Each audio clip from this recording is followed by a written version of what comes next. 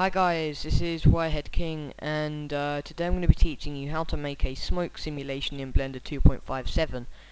Um, Alright, so let's start then. If we go into front view uh, by pressing number pad 1 and then make the cube a bit bigger. Uh, what we don't want to do is make it way too big because then uh, when we when it comes to baking the smoke it will take forever and you know that's why you need to have this cube. I'll explain it a bit more later. Um, so yeah. Okay if you go into wireframe mode and just add a plane make that a bit smaller and then just leave that not you know right at the bottom because then what will happen is when you play the animation all the smoke will sort of sink to the bottom and start acting all strange. So just leave it around there.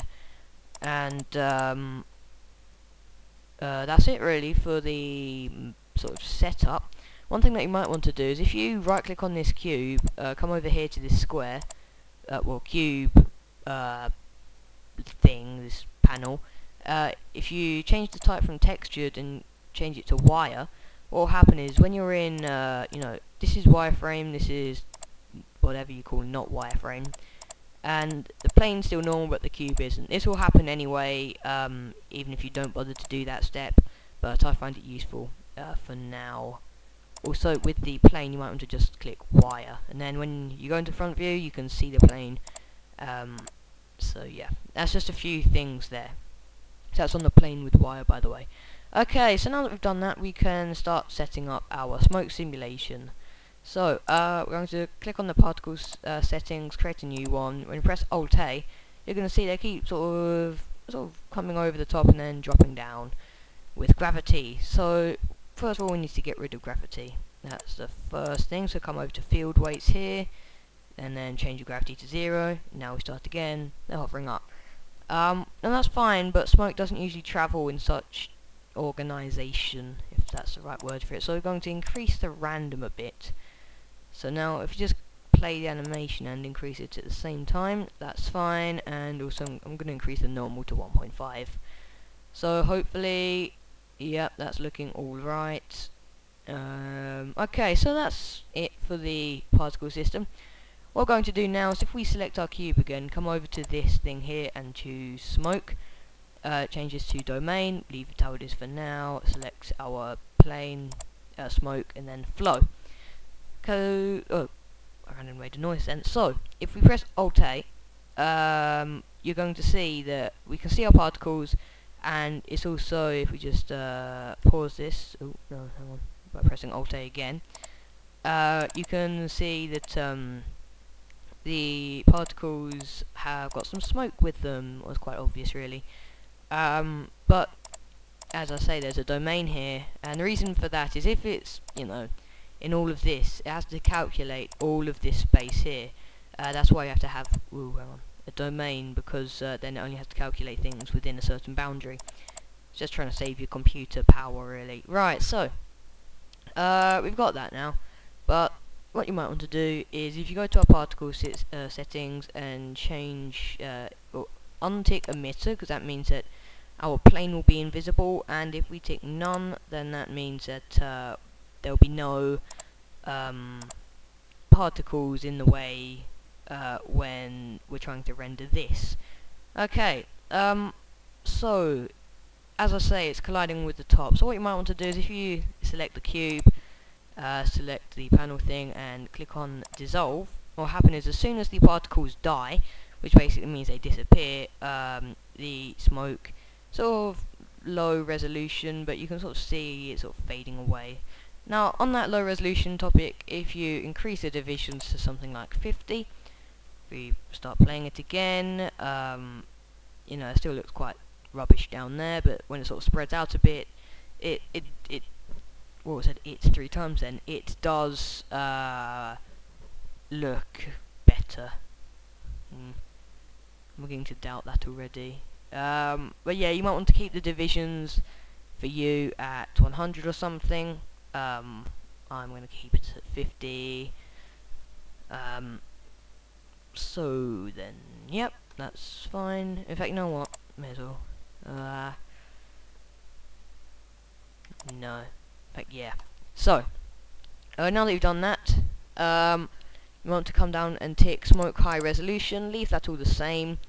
Uh, oh yeah, with the divisions, don't set that to 99999 or something ridiculous because, uh, um, you know, it's going to take up tons of computer processing power, probably going to crash your computer.